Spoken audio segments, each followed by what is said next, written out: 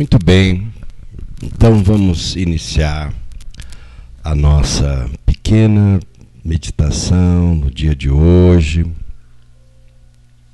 Peço licença para fechar os meus olhos, para que a gente possa juntos criar essa atmosfera de serenidade. Quando nós desejamos fazer isso, normalmente o nosso pensamento fica alvoroçado e muitas ideias acontecem ao mesmo tempo, tentando desviar a nossa atenção do que nós estamos fazendo aqui. A meditação é muito rápida, muito tranquila. Então agora, por alguns instantes, deixe lá fora as coisas que são lá de fora, as coisas que você vai fazer daqui a pouco, que você vai fazer depois da nossa conversa. Depois você vai fazer tudo com tranquilidade, com serenidade. Mas agora aqui, feche também os seus olhos e experimente ficar um pouco com você. Imagine como se você acendesse uma luz dentro do seu corpo e começasse a experimentar os efeitos dessa luz. Uma luz que iluminasse o seu pensar, que iluminasse a sua vida emocional, descansasse um pouco por dentro, descansar um pouco de todas as impressões que a gente recolhe da vida de fora, palavras que as pessoas falaram, atitudes que as pessoas tiveram conosco. Deixe tudo isso lá fora. Depois você volta a se relacionar com isso. Agora, comece a sentir a vida dentro de você. O mecanismo de respiração é um excelente recurso para isso. Respire conscientemente. Sinta a vida fluir pelo teu corpo, pelos teus poros trazendo uma sensação nova, como se a vida ela ficasse mais presente, como se a vida agora fosse mais vida. E como natural que a vida é, você sentisse agora uma espécie de renovação. Aquele cansaço Sabe quando a gente fica cansado demais, fosse cedendo para um bem-estar.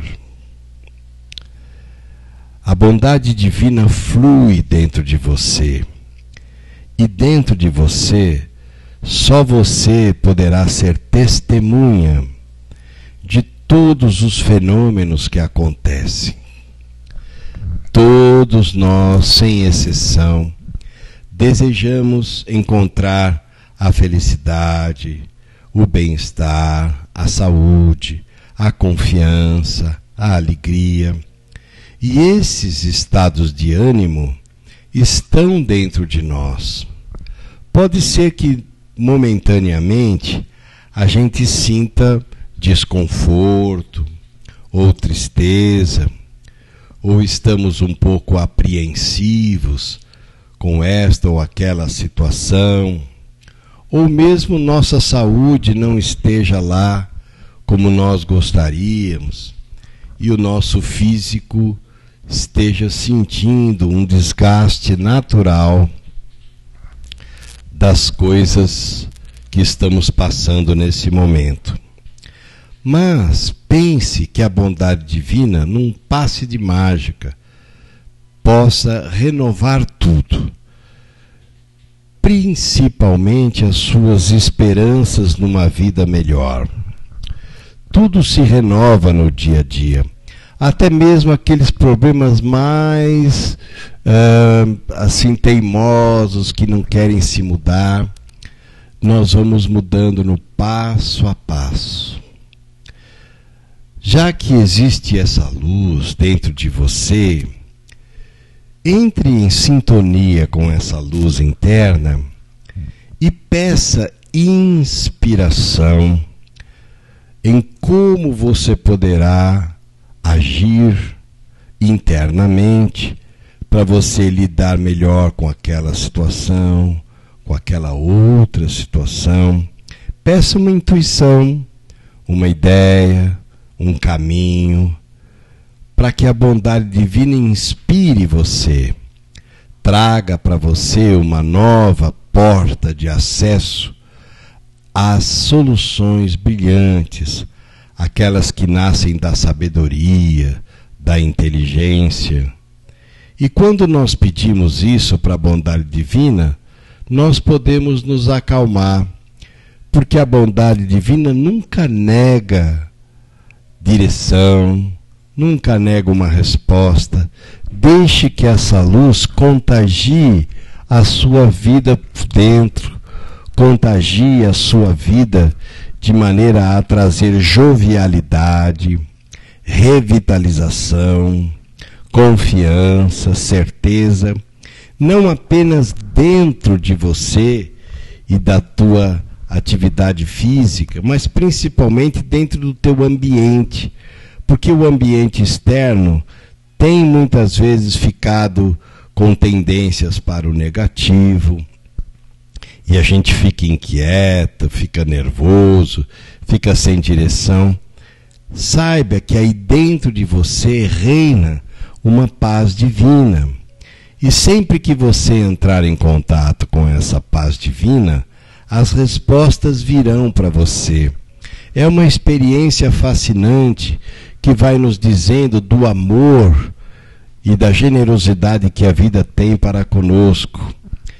Muitas vezes não é fácil a gente atravessar certos períodos na nossa vida, na nossa família, no nosso trabalho, nas nossas dificuldades financeiras, afetivas, mas há sempre algo que a bondade divina nos supre quando nós cremos nessa substância inteligente, afetiva que chamamos de Deus, essa força inteligente que nos domina, que nos favorece, que nos desperta para o nosso melhor.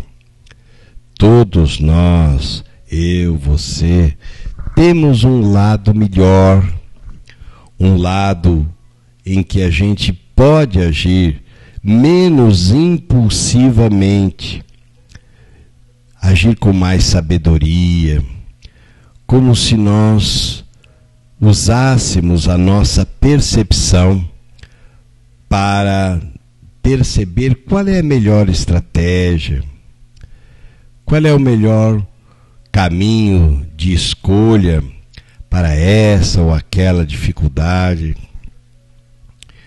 Peça para que a bondade divina inspire você. É como se essa luz representasse a força divina lá no teu espírito, fazendo com que você tenha a experiência. O importante é nós termos a nossa experiência.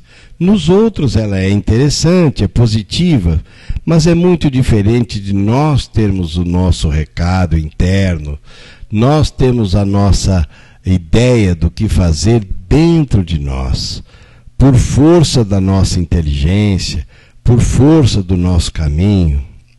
Essa atividade espiritual vai abrindo em você, trazendo para você uma nova esperança, fortalecendo o seu ambiente, fortalecendo a amizade dentro da família, fortalecendo a ideia mais clara do que você deve ou não fazer hoje, amanhã, sempre.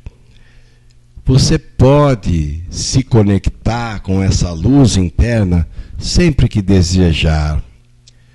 Talvez fosse interessante fazer isso uma vez por dia, onde você sentisse que a força divina está fora, mas não só fora. Ela também age dentro de nós, ela também age dentro do nosso coração, do nosso espírito, da nossa emoção, da nossa inteligência. E fique absolutamente calma, calmo, dentro de si próprio, porque essa luz vai te inspirar. A sua doença vai regredir. Você vai se sentir fortalecida, fortalecido.